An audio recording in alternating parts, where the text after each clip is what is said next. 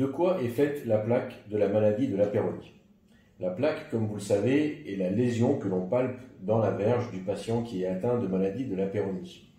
Très souvent, le patient consulte parce qu'il a palpé lui-même cette lésion et qu'il voudrait déjà savoir de quoi est-ce qu'elle est faite euh, avant de savoir euh, comment s'appelle la maladie et ce que l'on va pouvoir en faire.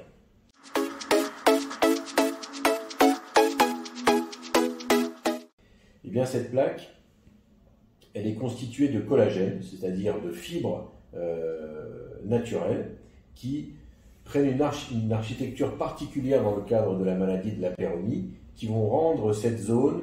rigide, qui vont lui faire perdre sa souplesse. Et c'est ce qui va faire que cette zone va devenir un point fixe. Et au moment de l'érection, la verge va tourner autour de ce point fixe et on va voir apparaître une courbure ou encore une déformation en sablier avec une perte de largeur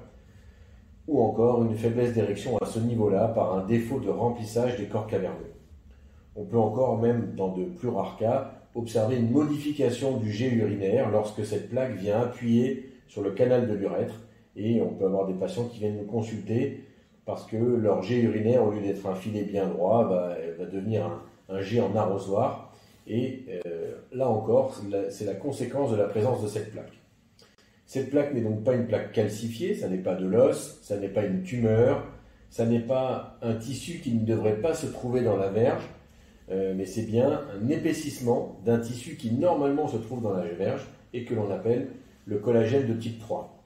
Pour cette raison, le traitement historique de la maladie de la péronie, que l'on appelle le Xiapex, était une collagénase, donc une enzyme qui mange le collagène, et c'est pour cette raison que ce traitement était efficace. Malheureusement, comme vous le savez, ce traitement n'est plus disponible en Europe euh, et n'est désormais disponible qu'aux États-Unis ou au Canada.